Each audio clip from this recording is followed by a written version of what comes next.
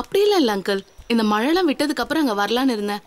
Alex இங்க வாசல்ல புல்லு மேய்ஞ்சிக்கிட்டு இருக்கான். நைட்ல கண்டதையும் குடிச்சிட்டு காலைல எந்திரிச்சு எக்ஸசைஸ் பண்ணிட்டு இருப்பான். ஆ இருங்க போன் அவர்கிட்ட கொடுக்குறேன். யாரு? அகஸ்தியர் அங்கிள் காசு கேட்டாரா? அதெல்லாம் எனக்கு எதுவும் தெரியாது. ம். ஆ அகஸ்தி அங்கிள் அலெக்ஸ் எப்படி இருக்க? என்னப்பா காலங்காத்தால? ஏன் தம்பி அந்த ஸ்டீஃபன் அந்த பக்கம் வருவானா? ஹா அவன் எதுக்கு இங்க வரப்போறான் பூம்பாறையில வாழ்க்கை பிரமாதமா இருக்குன்னு சொன்னானே. அவனுக்கு அது வெறுத்து இருக்கும். இல்லைனாலும் ரெண்டு வருஷத்துக்கு மேல அவன் எங்க தங்கி இருக்கான் டெல்லி கோவா துபாய் மதுரை. எல்லா இடத்துலயும் செட்டில் ஆகி வரதுக்குள்ளேயே அவனுக்கு வெறுத்துரும். அப்புறம் அடுத்த இடம். அவனுக்கு என்ன பிரச்சனை? அவனுக்கு பிடிச்ச மாதிரி வாழட்டான் அங்கிள் அது இருந்துட்டு போட்டோம். ஆனா கழுத்துக்கு கீழே மரத்தை போய் வீல் சேர்ல உட்கார்ந்து இருக்கிற அவனுக்கு ஒரு அளவு இல்லையா அலெக்ஸ்? என்னதான் காசு பணம் இருக்குன்னாலும். அங்கிள் உங்களுக்கு என்ன பிரச்சனை? அவனுக்கு பிடிச்சதை அவன் பண்ணட்டுமே. அவனுடைய சம்பாத்தியம் அவனுடைய வாழ்க்கை. ஓ நீ அவனோட ஆளு தானே எனக்கு ஒண்ணு இல்லப்பா. போன கிறிஸ்மஸ்க்கு அம்மணி பண்ணி கொடுத்த மாம்பழ கேக் எடுத்துக்கிட்டு பூம்பாறைக்கு போனான்ல? அவன் ஒரு வாக்கு கொடுத்துட்டு போனான். எனக்கு எதுக்கு அங்கிள் போட்ல இருக்கிற பங்களாலாம்? நீங்களே எடுத்துக்கங்க. இப்படி சொல்லிட்டு போனவன் பழசெல்லாம் மறக்காம ஞாபகம் வச்சிருந்தானா?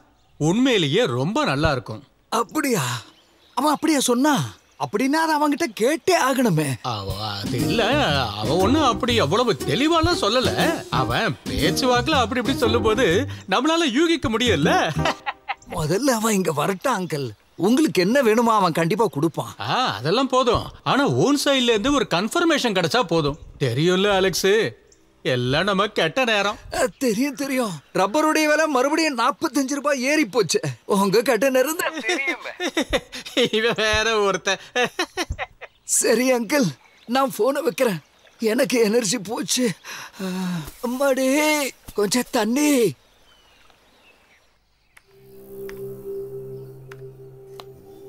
டேய் உன் நேரத்தை என்ன சொல்றதுன்னு தெரியல. நீ தப்பிக்கணும்னா ஏதாவது அற்புதம் நடக்கணும். அது என்ன அற்புதம்னு கேட்டா வீல் சேர்ல உட்காந்து பூம்பாறையில இருந்து இங்க வந்துகிட்டு இருக்கிறது. மண்ணாங்கட்டி ஸ்டீஃபன் லூயிஸ் மாலிக்கல் எந்த வில்லும் எழுதாம அப்படியே விட்டுட்டா மட்டும்தான் எனக்கு ஏதாவது கிடைக்கும். இல்லனா ஒரு சல்லி பைசா கூட எனக்கு கிடைக்காது. நீ இதுல கூட கிரிமினல் இருக்கல்ல? நான் சொல்றத நல்லா கேட்டுக்க எதுக்கு நீ அவசரப்படாத. எந்த ஒரு வேலையிலயும் இறங்கறதுக்கு முன்னாடி ரொம்ப நிதானமாவும் பொறுமையாவும் யோசிச்சு பண்ணாதான் ஜெயிக்க முடியும். ஆ அதை விடு. உன் தம்பி ஒருத்தன் இருக்கான்ல அலெக்ஸ் ம்.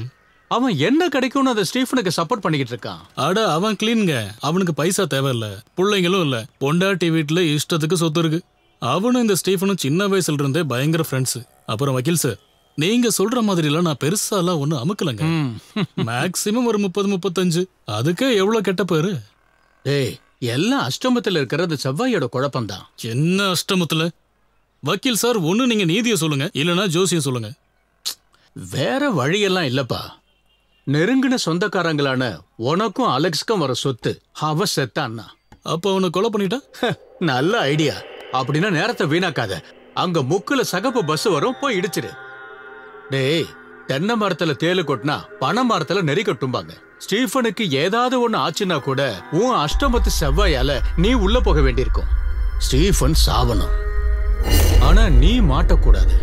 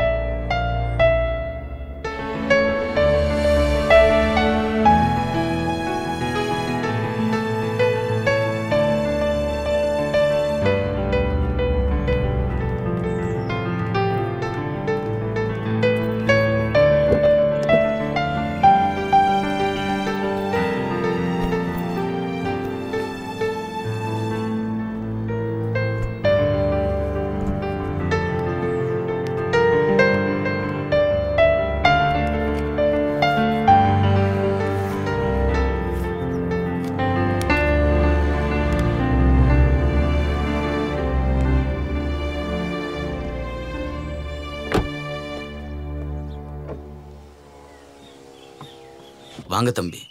ராவு காலத்துக்கு முன்னாடி வீட்டுக்குள்ள போகணும். ராவுகாலம் எனக்கும் இருக்கா? அதெல்லாம் இனிமே என்ன என்ன பண்ண போகுது?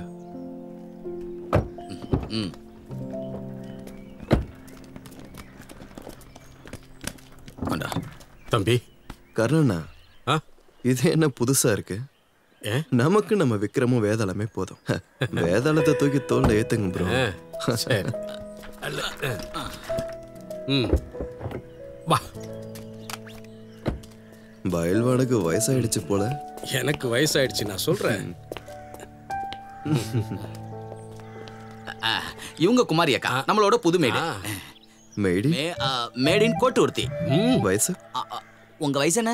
அறுபத்தி நாலு அறுபத்தி நாலு தான் நல்ல வயசு. குமாரி அக்காக்கு ஒரு மாசத்தோட சம்பளத்தை கொடுத்துருங்க கமல். நான் தேவனா உங்களை கூப்பிடுறேன். ஒண்ணு வேண்டாம். என் வயசை கேட்டப்பவே தெரிஞ்சு போச்சு நான் தேவையில்லைன்னு. இது வேற ஒரு கேஸ் போல. ஒரு மாச சம்பளம் ஒண்ணு எனக்கு வேண்டாம். நான் வந்ததுக்கு எனக்கு கூலி கொடுத்தா மட்டும் போதும். ஒரு ரெண்டாயிரம். கொடுத்து விடுங்க கமல். கொடுங்க. பார்க்கலாமா? கமலு அத வர கொஞ்சம் தாங்கி போடுறா. இந்த சென்னையில கல்யாணத்துக்கு பொண்ணு வேணும்னா சொல்லுங்க ஒரு டஜனை இறக்கி தரேன். ஆனா வேலைக்காரி கிடைக்கிறது ரொம்ப கஷ்டம் தெரியுமா? ச்சே வேலைக்காரி இல்ல கமல். உதவியாளர் சகி தோழி. அது இந்த அனுசுயா சுயம்பதா டைப் தானேப்பா? தோழியர். உனக்கு என்ன தேடி கண்டுபிடிக்கிறது? நான் தானே.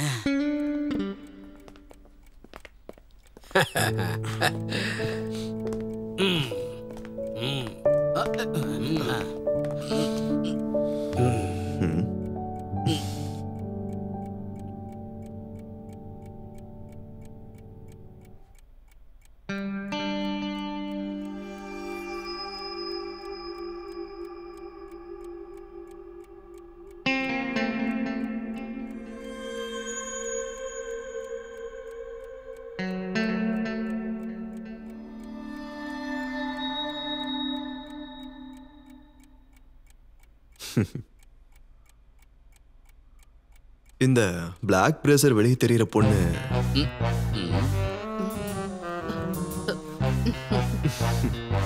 இப்போ ஓகே ஓ மாசம் இருபதாயிரம் கிடைக்குதுன்னு என்னால ப்ரா காமிச்சிடலாம் நிக்க முடியாது. நான்லாம் நல்ல குடும்பத்துல இருந்து வந்திருக்கேன். இதெல்லாம் செட்டே ஆகாது. சாரி எனக்கு உங்க பேர் தெரியல. அதனால தான் அப்படி ஒரு அடையாளம் சொன்னேன். என்னோட பேரு கன்னிகா.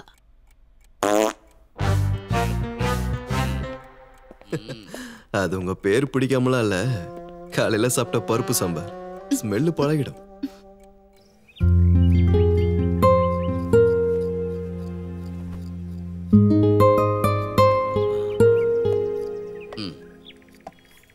கமலு நீ என்னதான் சமாதானம் சொன்னாலும் உங்க அப்பா அஸ்தியை கிச்சன்ல வைக்கிறது எந்த விதத்துல நியாயம்? அஸ்தியை கொண்டு சாப்பாடு செய்யற இடத்துல வைப்ப? ஹ, நான் என்ன சாப்பாட்டுல உப்புக்கு பதிலா இது என்ன நியாயம்? எங்க அப்பா ஒரு சரியான சாப்பாட்டு பிரியரா இருந்தாரு. அதனால இத பூஜை அறையில வைக்கிறதை விட அடுப்படியில வச்சாதான் அவர் சந்தோஷப்படுவாரு. எதுக்காக உங்க அப்பாவை காஃபி கிளாஸ்ல அடைச்சு வச்சிருக்கீங்க? நான் வைக்கல. வச்சு அனுப்பி விட்டாங்க. என்னோட முட்டாள் அண்ணன். அவன் குழந்தைய பார்க்கறதுக்காக தான் எங்க அப்பா அமெரிக்காவுக்கு போய் இறந்தாரு. He was the babysitter poor man அந்த சமயத்துல தான் செப்டம்பர் 11 அந்த ட்வின் டவர் தாக்குதல். தெரியுமா? தெரியாம அந்த தாஜ்மஹாலுக்கு பாம்பு வச்ச சம்பவம் தானே?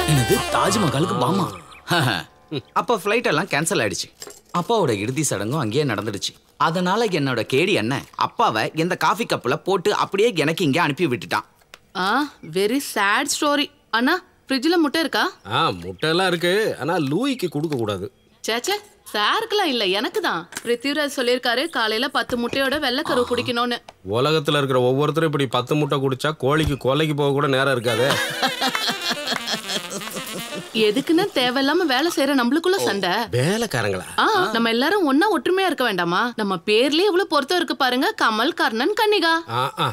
கமலுங்கிற பேருக்கு பொருத்தமா இருக்கணும்னா உன் பேர்ல இருக்கிற கன்னிகாவை மாத்தணும். அதெல்லாம் என்னைக்கோ மாறி போச்சு சார். சும்மா பயமுத்தாதீங்க பயமுறுத்துறாமா? அதெல்லாம் எனக்கு தெரியாது. நாப்பத்தஞ்சு நாப்பத்தாறு ஒரு நாப்பத்தேழு செகண்டுக்கு அப்புறம் இந்த முட்டையை இறக்கி வச்சிருங்க. ஆ முட்டையில தான் நிக்கிறேன். கால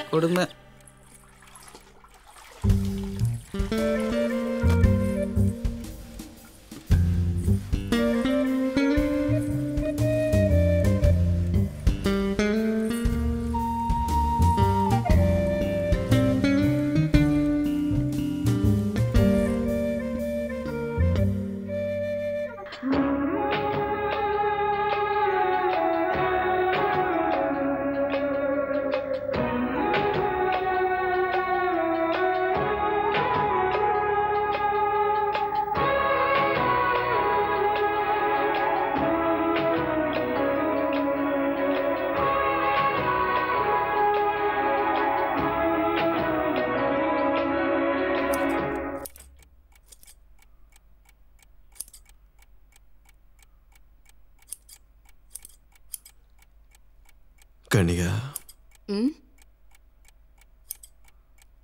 குளிச்சு எவ்வளவு நாள் இருக்கும்? நான் முந்தா நேத்து தான் குளிச்சேன். ஸ்மெல் வருதா? இல்ல. இது வந்து ஒரு மாதிரியான நல்ல வேர்வை வாசனை. பிடிச்சிருக்கா? அப்புறம்? அப்படின்னா இனிமே நான் குளிக்கவே மாட்டேன்.